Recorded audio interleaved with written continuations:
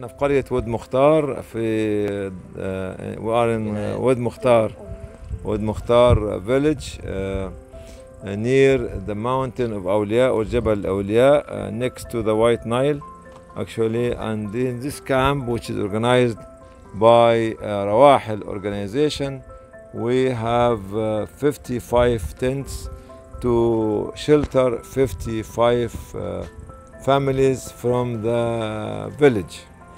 Unfortunately, another 30 uh, families which do not have shelter yet here. And you can imagine that uh, Mukalthum, which is a mother, with Tartil and Tanzil and Sahm Al and uh, Haji yeah. and uh, Jasser and uh, Tanzil, uh, all of you uh, are here. Their house has been destroyed, and the roads have been nearly blocked by the ruins of the houses and the mud and the stones.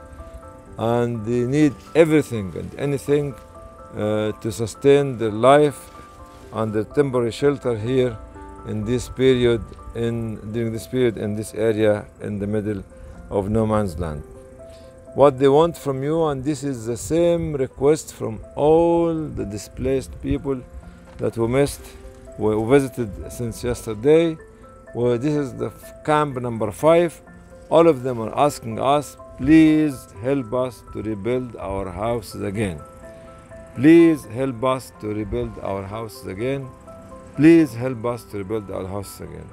So we want a room, we want two rooms, as uh, Rawahid organization said, building a house of two rooms with kitchen, toilet, and front area cost about $3,600. But if you want to share in building one house, you can pay for 1,000, 2,000, 500, or whatever you can to help and save the lives and the dignity of those people, inshallah.